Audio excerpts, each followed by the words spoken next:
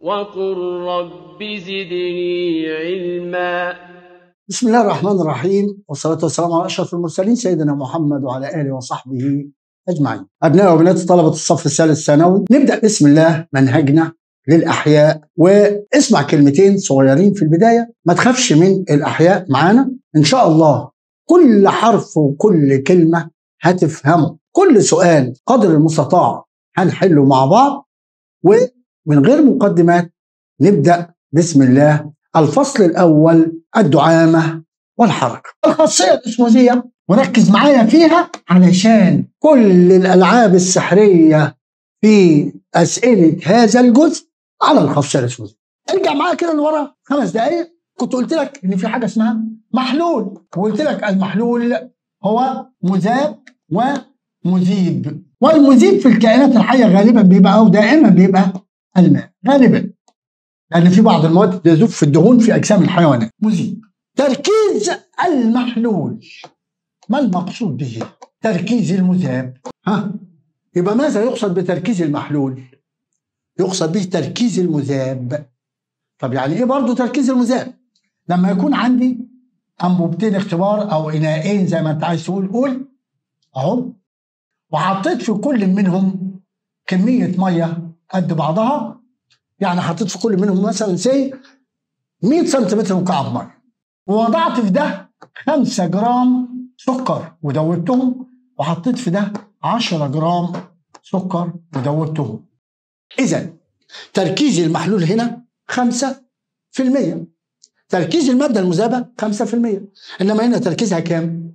10% يبقى في رقم واحد تركيز المحلول 5% في رقم اثنين تركيز المحلول 10% طب لو عملت واحد ثالث كمان وقلت لك أنا دوبت في دول 15 جرام مية يبقى تركيز المحلول 15% تركيز المحلول اللي هو تركيز المادة المذابة.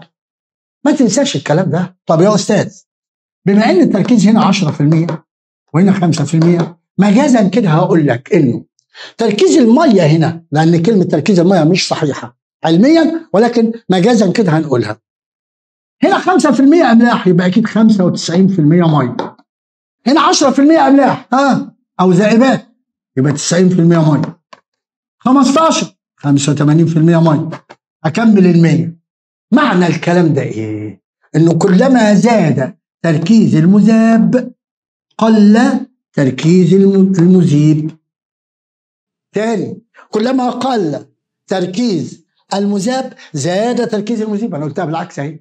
إذا العلاقة بين المذاب والمذيب علاقة عكسية. لغاية كده؟ اتفقنا. إيه علاقة ده بالخاصيه الاسموزيه هقول لك والله يا أستاذ أنا هعمل تجربة كده قدامك إن أنا هجيب مثلا اناءين أدي إناء وده إناء تاني وحطيت ما بينهم هنا غشاء شبه منفذ. ده. ما بينهم هنا كده.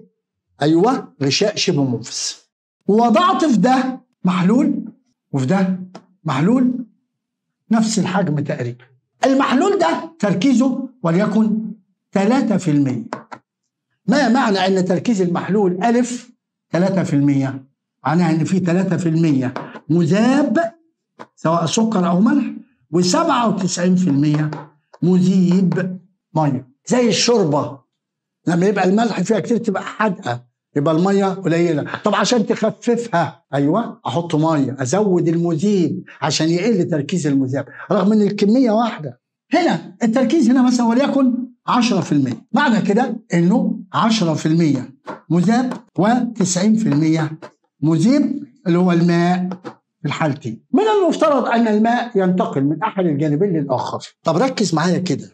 الجانب ألف والجانب ب المية هتنتقل من مين لمين فكر معايا. أيوه. هتنتقل من اللي فيه مية كتير للي فيه مية قليله طب اللي فيه مية كتير اللي هو مين 97 هتنتقل عبر هذا الغشاء الشبه المنفذ إلى اللي تركيزه 10 إلى أن يتساوى التركيزين هنا وهنا يعني لغاية ما يبقى ده 6.5% وده 6.5 طب أنا جبت 6.5 دي منين؟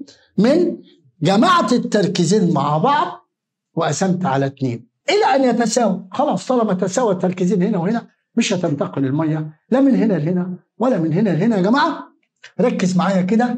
دي فكرة الخاصيه الاسموزيه انتقال الماء من وسط أقل تركيزا في المادة المذابه يعني أعلى تركيز في المية إلى وسط أعلى تركيزا للمادة المذابه يعني أقل تركيز للمذيب من المية اللي تركيزها أكتر للميه اللي تركيزها أقل. طب معنى مية تركيزها أكتر يعني ذائبات تركيزها إيه؟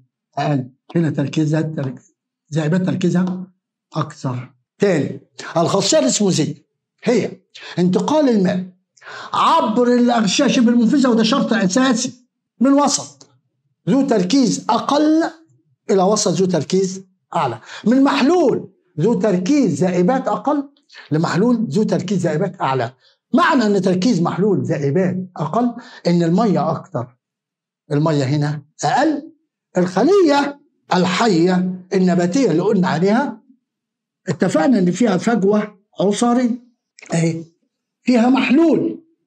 إذا كان تركيز المحلول في الفجوة وليكن 10% سكريات دايبة يعني المية 90 طب الوسط حواليها تركيز المحلول فيه 1% يبقى تركيز الماء 99% ينتقل الماء من الخارج إلى الداخل فتنتفخ الخلية وتكتسب دعامة فسيولوجيه اعكس الموضوع خلي ده 3% وده 10% اذا هنا المحلول هيبقى كام؟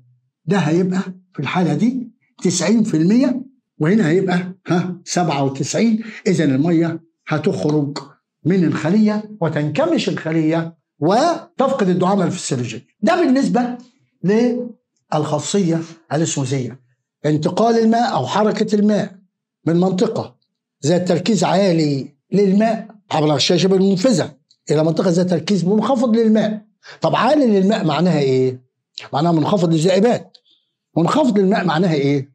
عالي للذائبات دي فكرة الدعامة الفسيولوجية اعتمادا على الخاصية الاسموزيه إن شاء الله في اللايف هنشوف أسئلة على الجزء ده وهنعلمك إزاي تحل هذه الأسئلة خاصة أسئلة الرسومات البيانية. هتفهم يعني إيه رسم بياني؟ إيه العلاقات البيانية المختلفة؟